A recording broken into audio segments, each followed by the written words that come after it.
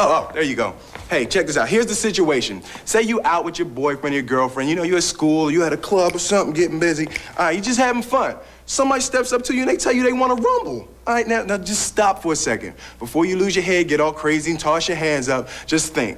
The person that uses their head can always defeat the person that's just trying to use their hands. Now remember that, because the more you know. The Academy is now starting a formal review of what happened with potential consequences for Will Smith. The person that uses their head can always defeat the person that's just trying to use their hands. Will Smith's slap across Chris Rock's face at the Oscars on stage on Sunday has been met with some strong opinions and a divided response. And the reason they didn't go and take him out is because that would have been another 15, 20 minute explanation of why we're taking the black man out uh, five seconds before they're about to decide whether he's won an Oscar or not. Before you lose your head, get all crazy and toss your hands up, just think. Why is it always the people who punch you in the face who tell you to stop hitting them? Kind of weird. It was a, a rare instance where someone is so enormously famous and successful like Will Smith that they literally still allowed him to not just win the Academy Award, but also go up and accept it and give a speech after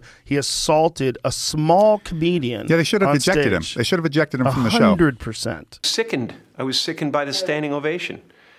I felt like Hollywood is just spineless, en masse.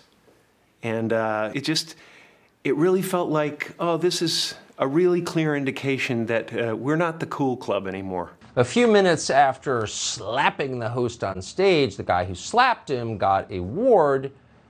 He was not expelled, of course. You can't just go smack a man in the face in front of the world and then go about business as usual. If you want to yell from the audience and disapprove or sh- show a disapproval or say something on Twitter or whatever, you, you know, you do not have the right to, to walk up on stage and smack somebody in the face because they said words.